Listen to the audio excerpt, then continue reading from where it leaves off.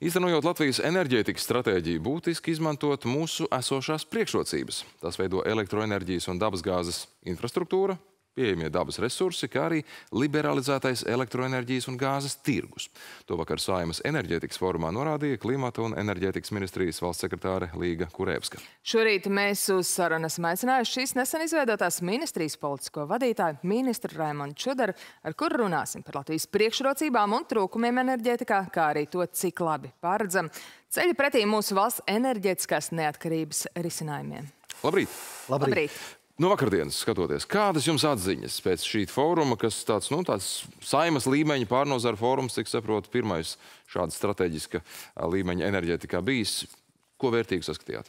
Visi ir uz vienas lapas, ja tā varētu teikt. Visi izprot šobrīd mūsu nepieciešamības un mūsu kopējo virzienu, kā pēc būtības arī tos soļus, kas mums jāspēr tieši, kas saistīts ar atjaunīgo energoresursu jaudu, palielinājumu Latvijā, lai nodrošinātu pirmām kārtām drošību energosfērā, un otrkārt, lai nodrošinātu arī konkurētspējīgu cenu, kas ļoti būtiski ietekmē, protams, katru no mums un katru maisaimniecību. Visi saprot, ka vajag. It kā skaidrs, ka mēs arī, man šķiet, nestrīdēsimies par to, bet jautājums atkal, protams, gan par termiņiem, gan par stingro skatu, par soļiem konkrētiem, un kā vakar Kulberkungs mums sacīja, nu, par lēmumiem, kas jau pašlaik laik no tās teorētiskās vienas lapas visu tiešām saliek uz darāmo darbu lapas. Un jāteic, ne tikai Kulbergs, arī dažādi enerģētikas speciālisti arī iepriekš ir izteikušies, ka Latvijai ļoti pietrūkst tāda tiešām ilgtermiņa pamatīgas stratēģijas attiecībā uz enerģētiku. Stratēģija nosaka tie vēsturiskie un faktiskie apstākļi, kas šobrīd ir. Latvija, ja mēs salīdzinām ar Baltijas valstīm, tieši elektroenerģijas ražošanas jomā pēc būtības ir ļoti izdevīgā situācijā, jo mums ir kaskāde ar trim elektrostacijām, un mums arī pietiekami modernas koģenerācijas jaudas, gāzes koģenerācijas jaudas elektrosistēmas uh, balansēšanai, kas ir TEDS divi jaudas.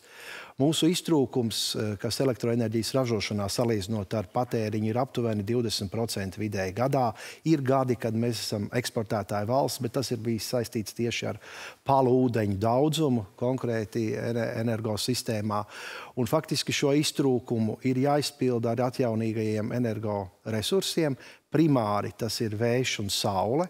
Šobrīd ir aptuveni 20 projekti iekšzemē, sauszemē, kuri tiek attīstīti no privātām investīcijām un kur uzdevums šo iztrūkumu aizpildīt. Tie ir pietiekami ilglaicīgi, ņemot vērā gan ietekmi uz vidi novērtējumu, eh, gan arī šīs investīcijas, kas ir ļoti būtiskas.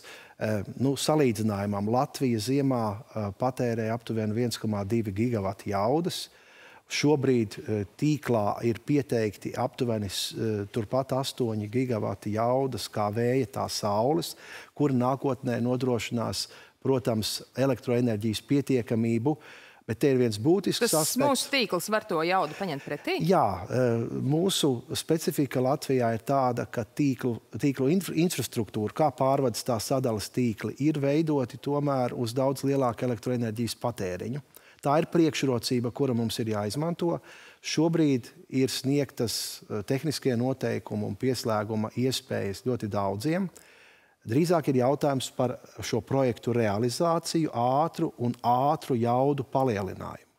Bet šeit ir viens ļoti būtisks aspekts, un es pilnībā piekrītu. Potenciāls liels. Potenciāls ir liels arī Baltijas jūrā atkrastes vēja daļā. Tie ir apmēram 15 gigawati. Atkal salīdzinām ar Latvijas patēriņu šī brīža 1,2. Un mums ir sekla jūra, Un šīs priekšrocības ir jāizmanto, bet primāri veidojot iespējas ši, tieši atkrastes vēju parkos saražotās elektroenerģijas eksportam uz centrālu Eiropu. Bez reāliem soļiem, e, lai mēs šo elektroenerģiju varētu eksportēt, šie projekti, protams, e, vienmēr būs zem jautājuma zīmes. Mēs esam sākuši darbu pie starpsavienojumiem, ir parakstīts memorands ar Vācijas pārvades eh, operatoru Hertz 50 eh, par to, lai šāda veida iecere realizētos dzīvē. Tas ir ļoti izšķiroši eh, kopumā, lai mēs izmantotu šīs mūsu priekšrocības. Šī vienošanās parakstītā, vai tā ir tāda jau šobrīd stingra apņemšanās ar termiņiem, ar noteikumiem, vai tā ir tikai nodomi un vēlmes? Mēs šobrīd runājam par uh, kopēju gribu izveidot šāda veida starpsavienojumu starp Baltiju, starp Baltiju finanses. un Vāciju. Mēs Nekas. runājam par ieguldījumiem, kuri mērāmi miljardos šāda veida starpsavienojumu izveidēji. Nākamais solis ir iekļaut šo starpsavienojumu Eiropas kopējā plānā attiecībā uz starpsavienojumiem. Un, protams, ir ļoti būtisks jautājums, kurš par ko maksā. Eh, finansējums šāda veida starpsavienojumam ir izšķirošs. Un, protams, ka uh, mūsu darbs ir nodrošināt, lai tas būtu kopējs Eiropas enerģētikas politikas sastāvdaļa šāda veida starpsavienojuma izveide. Cik gadu termiņš, kā jūs redzat? Mēs runājam par piecgadēm noteikti. Par piecgadēm. Uh, vēl, vien, vēl viens ļoti būtisks jautājums, vēl joprojām runājot par infrastruktūru, tas, ko enerģētikas nozares uzņēmēji arī ir pauduši publiski, ka viņi sagaida, ņemot vērā tiešām šo pirmkārt ļoti lielo interesi, otrkārt ļoti daudzos pieteiktos projektus, vēlmu tos īstenot, ka viņi sagaida, ka valsts nodrošina infrastruktūru nepieciešamo. Viņi, nu tā teikt, ražo, uzliek vēja turbīnas vai saules paneļus un tam līdzīgi, nu un tad valsts nodrošina visu to tālāk ķermeni, tā teikt, kas to visu ņem pretī un, un nodod tālāk eksportēšanai, tā skaitā, kā jūs minējāt. Vai šobrīd ir konkrēti plāni valstī sākt kādus tādus lielus infrastruktūras papildināšanas un stiprināšanas darbus? Šeit ir pavisam konkrēts plāns attiecībā uz atvesuļošanās fonda Eiropas Savienības tā saucamā Repower eh, naudas ieguldīšanu tieši tīkla stiprināšanā, gan pārvadē, gan sadalē.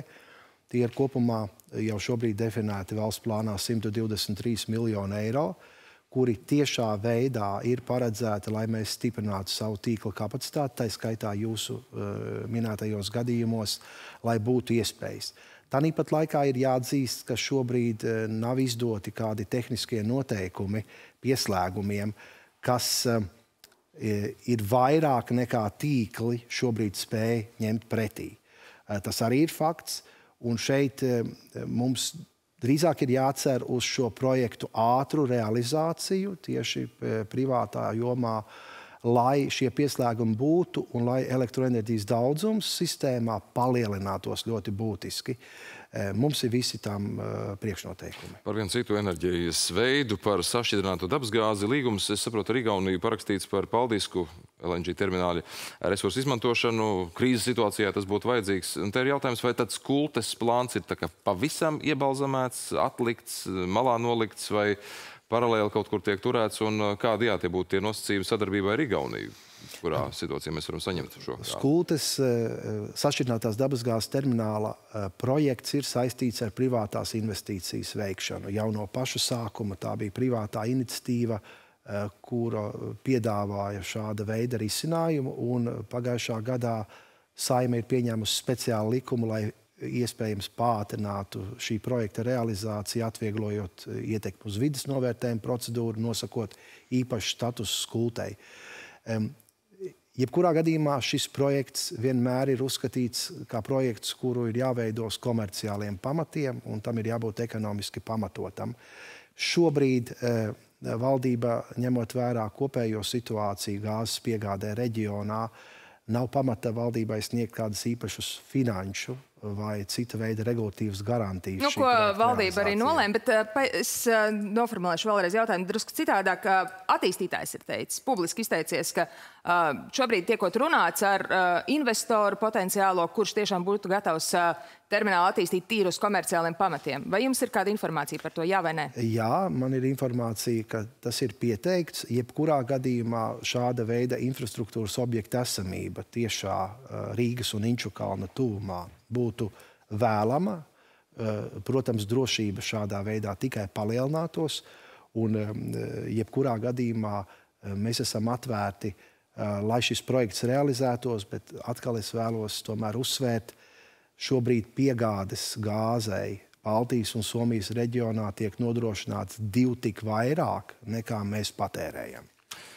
Pabeidzot mūsu šī rīta sarunu, noteikti tēma vēl ir daudz, bet eh, laiks ierobežots. Kā ir ar eh, nākamās apkurses sezonas gatavību, teiksim, attiecībā uz dažādu uh, līgumu slēgšanu, iepirkumu plāniem, arī atbalstu iedzīvotājiem, tā skaitā, cik un tālu? Cik tālu šajā kema ministrija arī piedalās? Cik mēs jau zinām par to posmu, kad ragavas ir jākaļ vasarā? Cik esam gatavi izkalt? Protams, ka, ja mēs runājam par ziemas sezonu, pirmkārt mēs runājam par gāzes nodrošināšanu, kā apkurei maisaimniecībām, industrijai, tā arī elektroenerģijas ražošanai. Šeit mēs vērojam pozitīvas tendences, kas saistītas ar gāzes cenu, kuras ir nokritušies Nīderlandes biržā aptuveni 30 eiro. Nu, pieprasījums uz silto sezonu. Jā, e, pēc prognozēm mēs turpmāk nesaskarsimies ar tik milzīgiem liecieniem gāzes tirgū, kā tas notika pagājušo gadu. Tā ir izteikta prognoze. E, Tāpat laikā mēs nevaram būt droši par noteiktām situācijām, tā skaitā ģeopolitiski, kas ietekmē gāzes cenu.